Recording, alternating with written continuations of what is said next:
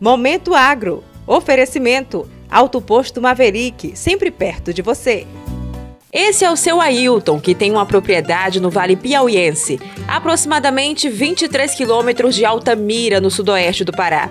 Aqui ele desenvolve um projeto de piscicultura e mostra orgulhoso espécies como tambaqui, pirapitinga e tambatinga, prontos para o abate a partir de 800 gramas. Eu gostaria de enfatizar o apoio que a gente vem tendo nesses dois anos no nosso projeto, desde o início do nosso projeto, através da Cimagre, trazendo para a gente a facilidade de conseguir os documentos que não foi fácil. E sem esse apoio a gente não teria conseguido chegar onde nós estamos chegando. O sistema do piscicultor é considerado ecologicamente correto. O tanque suspenso de ferro-cimento faz recirculação da água que vem da represa, com auxílio de filtro e bomba. Toda a água que ele utiliza, ela fica passa por um processo, diversos processos de filtragem é, dentro do sistema dele, e ele basicamente repõe só o que ele perde por evaporação de água lá. Aquele lodo que a gente vê, por exemplo, nas imagens, aquilo ali é uma etapa é, uma, é a primeira etapa do sistema de filtragem que ele utiliza lá, né? Lá ele utiliza o sistema de filtragem mecânico, que é onde fica essa primeira etapa do lodo, é, seguindo por um processo de, de filtragem biológica e posteriormente a água é retornada para os peixes. O Bruno é engenheiro de pesca do município e auxilia, além do seu Ailton, cerca de 29 produtores locais.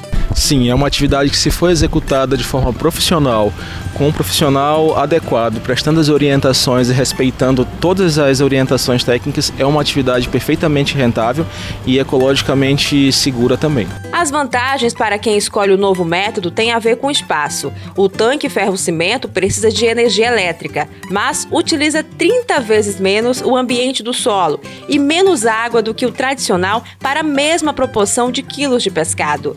A estrutura apresenta uma camada de cimento sobre uma armação de ferro. Esse é um tanque de ferro-cimento, que é um tanque recomendado. A gente recomenda esse tanque para utilização de pequenos produtores em áreas rurais, é, onde você não, principalmente onde você não tem a possibilidade de escavar os viveiros tradicionais, são viveiros escavados no chão.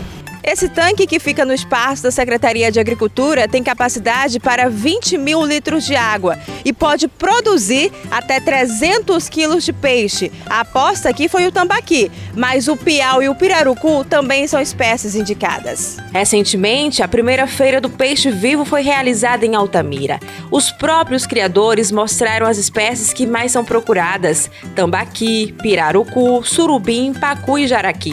A iniciativa foi aprovada pelos altamirenses, que, seguindo o costume do Pará, têm preferência por esse tipo de carne. O estado é o segundo que mais faz o consumo de peixes no Brasil. E a nossa intenção é que essa feira continue é, sendo realizada nos próximos, próximos meses. É, e a gente pede assim que as pessoas tenham interesse em praticar a atividade da piscicultura, os produtores, curiosos, que tenham interesse, que procurem a gente da Semar aqui, que vai ser um prazer receber essas pessoas aqui. Uma atividade que vem ganhando notoriedade tem expectativa de crescimento. Dados recentes mostram que a piscicultura brasileira cresceu cerca de 5,6% ao ano, reunindo mais de um milhão de criadores, com cerca de 841 mil toneladas de peixes. Criadores como o seu Ailton, lá do começo da reportagem, que garante emprego e renda com a piscicultura e não abre mão de respeitar o meio ambiente.